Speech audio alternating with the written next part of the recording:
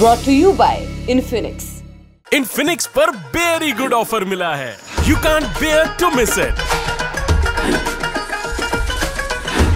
Rajasthan आते हैं। जब जब आला कमान को लगता है कि सब कुछ सेटल हो गया है तब तब नए सिरे से वहाँ बयानबाजियाँ शुरू हो जाती हैं। अशोक गहलोत ग्रामीण खेलों के ज़रिए नए सिरे से संगठन और संगठन से भी ज़्यादा अपनी सरकार की छवि को मज़बूत करने की कोशिश कर रहे हैं। लेकिन आलम यह है कि कर्नल किरोड़ी बैसला के अस्थि विसर्जन कार्यक्रम में चांदना पहुँचते हैं तो जूता उछाल दिया जाता है। गुजरों का नेता कौन? संगठन का नेता कौन? कांग्रेस का नेता कौन? और सबसे बड़ा सवाल ये कि क्या अशोक गहलोत कांग्रेस अध्यक्ष बनने के साथ साथ कुछ महीनों तक मुख्यमंत्री भी बने रहेंगे? क्योंकि राजदीप जी की तरह मेरे भी सूत्र हैं। मैं भी कुछ एक्सक्लूसिव बताना चाहता हूँ कि जो बात तय हुई है फ़िलहाल वो ये है कि वो कुछ महीनों तक दोनों पदों पर रहेंगे। उसके बाद वो राजस्थान में सत्ता का हस्तांतरण करेंगे और उसमें भी उनकी सुनी जाएगी। तो कांग्रेस की एक तरफ़ रणनीति यात्रा और यात्रा के इर्द गिर्द है लेकिन राज्यों से जो खबरें आ रही कांग्रेस के लिए वो अच्छी नहीं है। राहुल जी। देखिए सौरभ आप और राजीव जैसे लोग अपने सूत्रों से जब बात कर लेते हैं उसके बाद अगर उस पर पुष्टि मुझसे मांगते हैं तो आप मुझे दुविधा में डाल देते मैं गरीब रिपोर्टर हूँ। उनकी पुष्टि मैं नहीं कर सकता मैं अपनी तरफ़ से बता सकता हूँ जो थोड़ी बहुत खुरचन हम लोगों को मिलती है उसमें यह है कि अशोक गहलोत साहब का ये एक क्लैरिटी आ रही है कि अगर सोनिया गांधी नहीं तो दूसरी चॉइस जो है वो सिर्फ़ अशोक गहलोत राहुल गांधी ने यह बात साफ़ कर दी है, मौसमी इस बात की पुष्टि कर सकती है कि वो संगठन में ये अध्यक्ष और ये सब में इंटरेस्टेड नहीं है। राजीव ने जैसे कहा कि वो एक और यात्रा करना चाहेंगे। ये हिंट्स आ रहे हैं कि एक और यात्रा अगले साल हो सकती है। कुल मिलाकर के ये कहा जा सकता है कि राहुल गांधी एक वो ले रहे हैं स्टैंड तो गहलोत साहब पे जो है ना बड़ा विकट समय आ गया। पिछले करीब मैंने गिना है 26 दिनों में गहलोत साहब ने करीब आठ नौ इंटरेक्शन मीडिया से कर डाले हैं। जी। और कई जगह अपनी दुहाई दे दी है कि कितनी मुश्किल से बमुश्किल उनकी सरकार बची है। और अनकनेक्टेड लोगों से भी जो उसके साथ ड्राइंग रूम में पहले वो बाहर ऐसे बयान कर रहे थे आजकल वो कटाक्ष करने लगे हैं कि कैसे उनकी सरकार एक रिबेलियन से बच के बच गई और किस तरह से वो काम निकाल के ले गए अभी कल ही शायद हुआ है कि वो एक ऐसा ही बयान दे आए हैं कि फला ने उनके साथ गद्दारी कर दी फला ने आके खबर कर दी। हम्म। इस कारण से सरकार बच गई। तो क्या है कि गहलोत साहब एक फॉर्मूला दे रहे हैं कि अरविंद केजरीवाल फॉर्मूला है नहीं अरविंद केजरीवाल फॉर्मूला ये है कि वो पार्टी के मुखिया हैं आम आदमी पार्टी के और एक राज्य के मुख्यमंत्री भी हैं।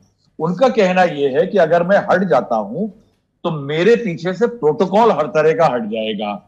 और पार्टी का अध्यक्ष जो है देखिए कांग्रेस का जो होगा वो ना तो सांसद होगा। आ, और सांसद में कोई प्रोटोकॉल उसको नहीं मिलता है। जेपी नड्डा अगर अध्यक्ष हैं बीजेपी के तो आ, वो सांसद भी हैं। और उनके साथ एक एक सेंस ऑफ़ प्रोटोकॉल चलता है क्योंकि वो बीजेपी के अध्यक्ष हैं। कांग्रेस में विपक्ष में होने के कारण उनको प्रोटोकॉल नहीं मिल पाएगा और पूरे देश में भ्रमण में मीटिंग में तमाम चीज़ों में उनके लिए मुश्किल आएँगी। तो ये अशोक गहलोत जी का फॉर्मूला है कि गहलोत जी चाहते हैं कि ऐसा उनके साथ एक्सेप्टेंस हो जाए। तो क्या है कि गहलोत साहब का बेसिक इंडिकेशन ये है कि मैं काला पत्थर जो मुख्यमंत्री के घर के बाहर पड़ा होगा उसको मुख्यमंत्री बना दूँगा सचिन पायलट को नहीं बनने दूँगा। और एक तरह से उनको ये सिग्नल जो है, जाने से पहले सोनिया गांधी जब अभी विदेश गई थी, अभी लौट के आ गई हैं, ये मिल गया था कि आप राजस्थान की चिंता छोड़ दीजिए, आप पार्टी की चिंता छोड़िए। उनको ये चीज़ें बड़ी इंटरेस्टिंग है, सौरभ की ये भी याद दिलाई गई कि आप ऐसे जनरल से, आप ऐसे कांग्रेस के एक कार्यकर्ता हैं, जहाँ आपने किसी ना किसी पोस्ट पे रहते हुए 29 देश के जो राज्य हैं, उनतीस तीस, हर एक में कहीं ना कहीं एक प्रभार निभाया है तो आप जानते हैं इस देश को। उनको यह भी बताया गया कि इमरजेंसी की बात की जो सबसे पहली रैलियाँ हुई थी इंदिरा गांधी जी के द्वारा, वो अशोक गहलोत जी ने जोधपुर में करवाई थी। उनको यह भी याद दिलाया गया कि जब राजीव गांधी अमेठी से चुनाव लड़ने गए थे तो वहाँ पे चुनाव का प्रभार भी अशोक गहलोत के पास था। तो कुल मिलाकर के अशोक गहलोत की जो जामवान जैसे के तरह से हनुमान जी को बताई गई थी कि भाई संकट मोचो किस टाइम तुम हो सकते हो, क्योंकि फला फला क्वालिफिकेशन तुम में है।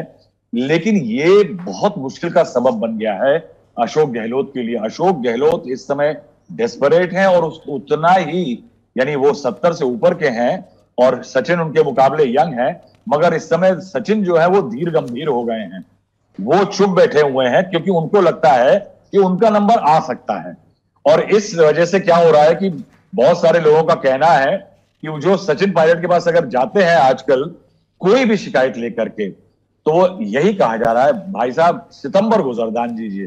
तो सितंबर गुजर जान दीजिए तो यानी जो चुनाव की प्रक्रिया शुरू हो जाएगी चौबीस के करीब से तो कुल मिलाकर के मैं कहूँगा कि ये जो भारत जोड़ो यात्रा है राहुल गांधी की इसका एक डायरेक्ट फॉलो आउट या एक को रिलेटेड इवेंट जो होने वाला है वो कांग्रेस अध्यक्ष का होने वाला है। जी। और वो एक्सरसाइज जो है वो क्या कांग्रेस पे भारी पड़ जाएगी? एक राजस्थान जैसे राज्य में, देखिए सिर्फ़ दो राज्य में इस समय कांग्रेस है, छत्तीसगढ़ और राजस्थान। और वो कांग्रेस के लिए अगर भारी पड़ गई, अगर वहाँ इस तरह का विवाद हुआ कि सचिन को लेकर के अशोक गहलोत अड़ गए और अध्यक्ष उनको बनना है तो कांग्रेस के लिए बहुत ज़्यादा फजीता होने वाला है।